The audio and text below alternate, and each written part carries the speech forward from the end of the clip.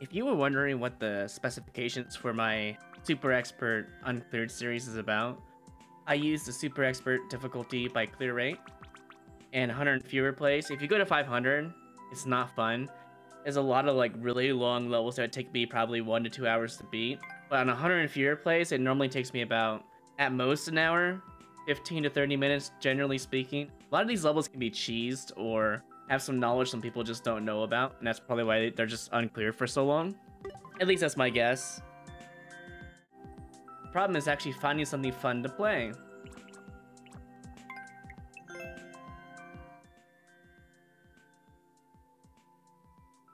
This looks like just hard precision, honestly. I mean, it gets progressively harder.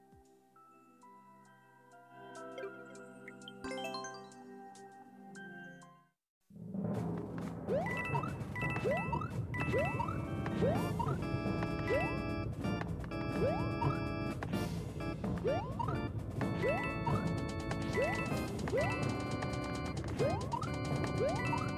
I have to do this as well? Okay.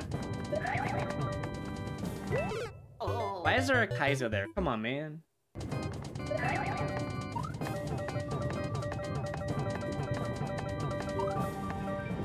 I don't know how I survived that. I'm gonna be honest, I looked really hard. It looks like a triple jump.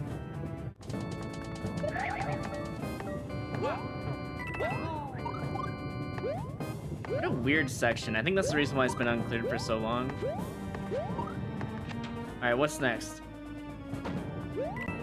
Wall jumping? Okay.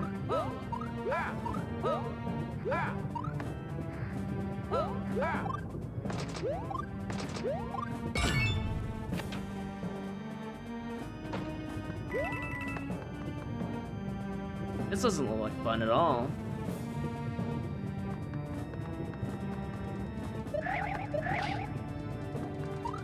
And then that's the end, right? Oh, I see. That last jump is really hard. To do that jump, you have to do a control jump. That's why it's been unclear for so long, is because of the ending factor. The triple jump, the ending, and the one-way room is the reason why it was unclear for so long. But it's a neutral.